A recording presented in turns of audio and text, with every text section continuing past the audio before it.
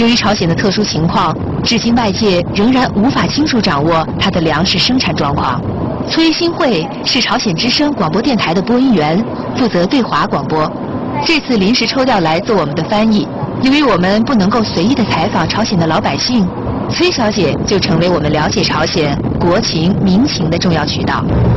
现在朝鲜到底这个粮食的生产情况是一个什么状况？供应呢够不够？不能说是够，可是不能说是充足，可是不也不可以说是不足，就是嗯，因为充足不足是这两方面的。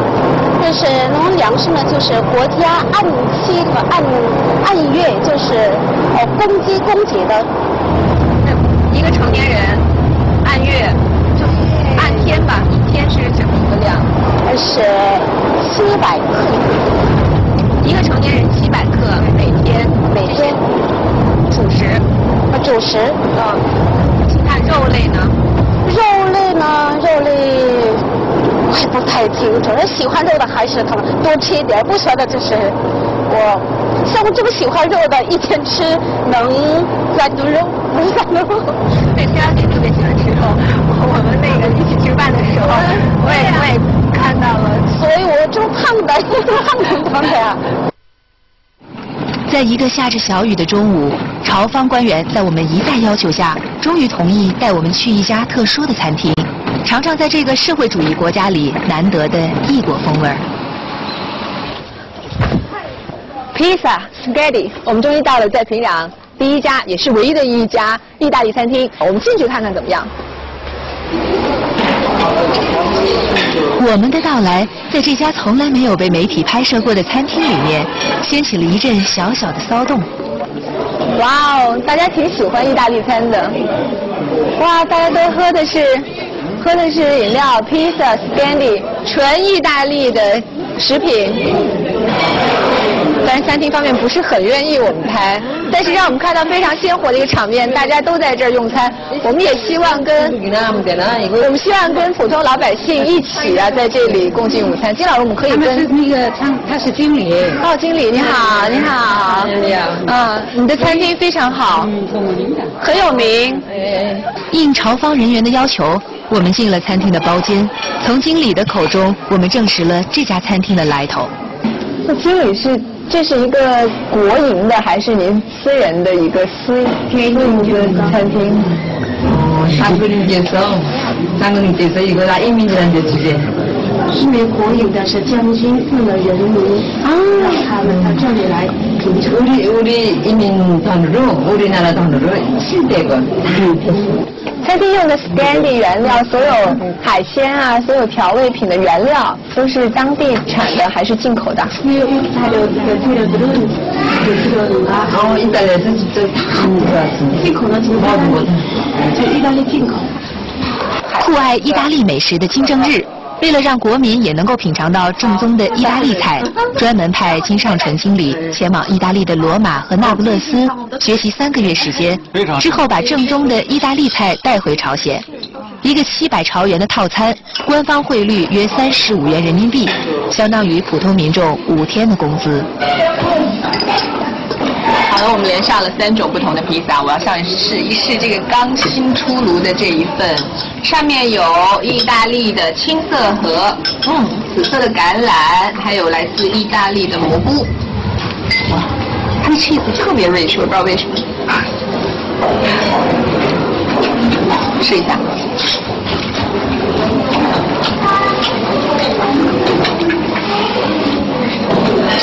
嗯，很清香的蔬菜的味道，很香，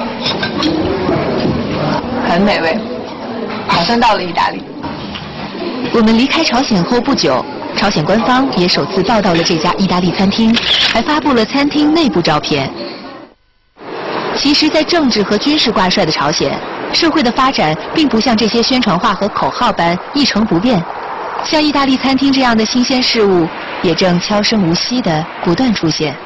在平壤街头，人们的衣着越来越时髦，孩子们的打扮更是活泼，而使用手机也不再是一件稀奇的事儿。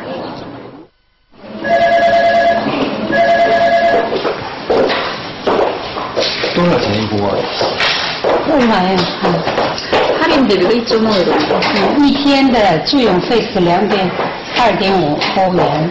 打香港一分钟还有多少钱？嗯，的。三十五。啊，一分。每一分三点五。三十五。三点五欧元。对一分钟。三点五欧元。由于朝鲜禁止外国人携带手机入境，租用朝鲜本地手机的业务应运而生。但国际通话费用相当昂贵。一张一千元人民币的储值卡，从平壤致电香港的话，不到三十分钟就用完了。目前朝鲜电信的 3G 系统仅供本国国民使用，只能登录官方的新闻网站，外国人能租用的都是 2G 的手机。这些中国制造的手机，价格介乎两万到四万多朝元之间，对于每个月工资三四千朝元的普通民众来说，无疑像一个天文数字。但相信假以时日，这些手机也能逐步普及，成为朝鲜人民的日用品。朝鲜当局在受到国际严重孤立的处境下，仍然努力求新求变，希望外界能够了解朝鲜，并邀请凤凰卫视摄制组进入朝鲜中央电视台，参观这个设备虽然落后，但担负着朝鲜向世界发出声音重任的新闻演播室。朝鲜著名的功勋播音员李春熙也来到现场，在朝鲜几乎所有有关金正日的新闻都是由他负责播报的。兴之所至，李春熙即兴的演示他是怎么以饱满、抑扬顿挫的风格播报有关金正日的新闻。 위대한 영도사 김정일 동지께서 조선민주주의인민공화국 국방위원회 위원장으로 높이 추대되신 것을 열렬히 축하하는 농업근로자들의 경축 모임이 12일 총살 위에 높이 모신 위대한 수령님의 동상 앞에서 진행됐습니다. 金正日被推举为朝鲜最高领导人的地点， 位于金日成铜像旁边的万寿台议事堂。这里是朝鲜最高人民会议所在地。一九八三年开始兴建，仅用了一年时间就竣工。议事堂内最引人注目的就是这个有四千三百多平方米的大会议厅。在新闻当中，可能观众朋友经常会看到这里，但今天我们身处现场的感受还是截然不同的。在台上呢，是最高人民会议的呃重要的干部、最高国防委员会的重要的干部坐的位置。今年四月九号，金正日就是在这里再次当选为朝鲜国防委员会委员长，掌握这个国家的最大权力。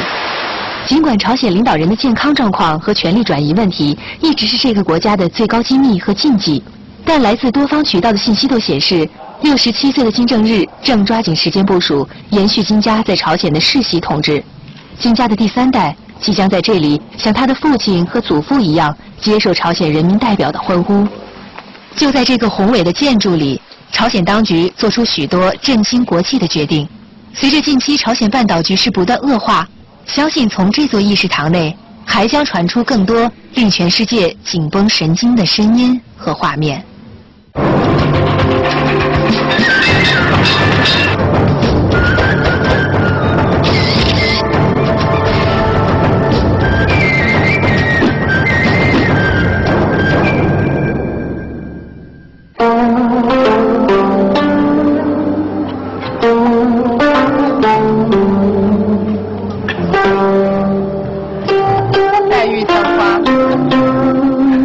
葬花吟。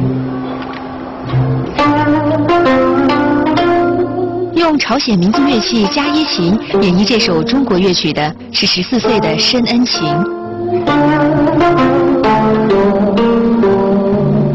虽然豆蔻年华的少女还无法真正领会黛玉葬花时的孤独和悲凉，但十指之间流淌出的音符，依然使得参加平壤国际艺术节的艺术家们心绪随之颤动、陶醉。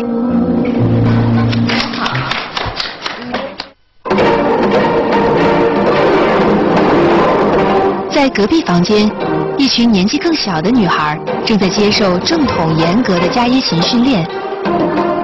申恩晴也像他们一样，从九岁就开始学习加耶琴。出色的表现让她去年成为朝鲜少年艺术团的一员，前往中国香港和深圳演出，技惊四座。当这个纯真可爱的小女孩说出她首次到中国的最深刻感受时，答案有些出乎我们的意料。